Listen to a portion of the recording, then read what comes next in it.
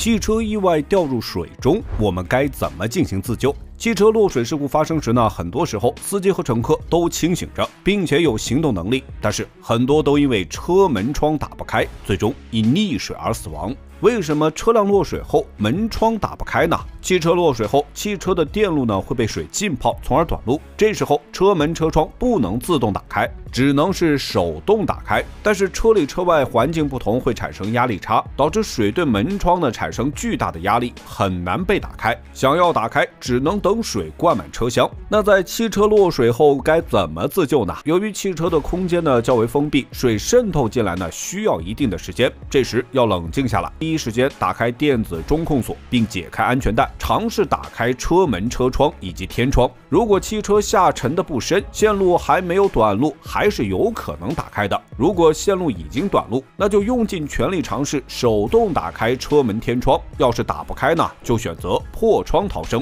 很多人会在汽车里配备安全锤、灭火器等等安全工具。如果有这些安全工具，用它尖锐的一端敲碎玻璃。使用安全锤敲击时呢，用安全锤去敲击玻璃的四角和边缘位置。汽车的玻璃呢，一般是钢化玻璃，中间坚硬，很难敲碎；而玻璃角落和边缘较为脆弱，能更快的将其敲碎。敲碎后逃生也要注意避免划伤。破窗逃生要选择车窗和天窗去敲击，不要选择挡风玻玻璃。凭借安全锤等工具，短时间内呢很难将挡风玻璃敲碎。如果汽车有天窗，在车辆没有完全沉没时呢，要优先选择从天窗逃生。汽车意外掉入水中，我们该怎么进行自救？如果汽车上没有安全锤等工具，我们要寻找尖锐的物品，比如座椅头枕里面的支柱。汽车头枕取下来后呢，用它下面的金属棍去敲击玻璃四角和边缘处。绝大多数的汽车座椅头枕处呢有一个卡子，掰开就能。将其取下。如果无法破窗逃生，可以跑到后排座位，尝试打开后座的车门。因为汽车的发动机呢，一般是在车头，汽车是头重脚轻，车头是先沉的，而车尾门窗受到的水压较小，或许呢能够打开。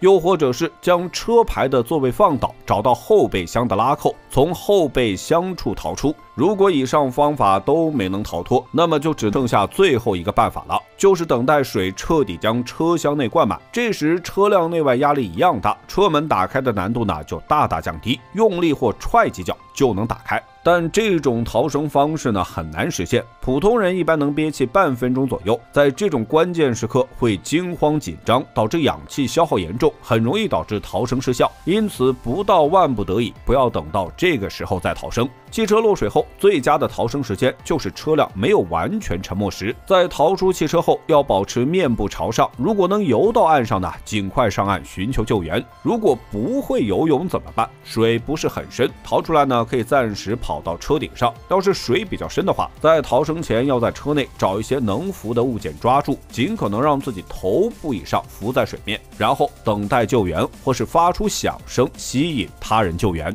公交车落水，我们该如何自救？在今年的三月，上海一辆公交车因驾驶员身体问题，致使操作不当坠入河中。万幸呢，车上没有乘客，也没有造成其他人员受伤。驾驶员被救上来后已经昏迷。那假如我们乘坐的公交车落水，我们如何自救呢？同样要在第一时间冷静下来。如果水没有淹没到车门，可以选择从车门逃生。公交车一旦落水，短时间内并不会被断电。如果车门还能打开，要在最近的车门离开。如果车门不能正常打开，车门附近安装有车门应急阀，找到它顺时针旋转，让车门放气，车门就被打开了一个缝隙，然后就能手动打开车门逃生。如果车门已经被水淹没了，那就不能从车门走了。巨大的水压会导致车门很难被打开。这时候可以选择从公交车车顶的两个紧急逃生窗逃生，只要扭动上面的扳手，用力推就能打开。但由于高度较高，还需要一定的力量，这种逃生办法呢不太适合老人和孩子。这种情况下可以选择破窗逃生，在公交车的窗户旁边都配备有安全锤，使用安全锤用力敲击窗户的四角和边缘，就能敲碎逃生。如果车辆窗户已经被水淹没，这时因为内外压力差，在水压的影响。下玻璃很难被敲碎，要换没有被淹没的窗户玻璃敲。但是要注意啊，不要敲击公交车的前挡玻璃。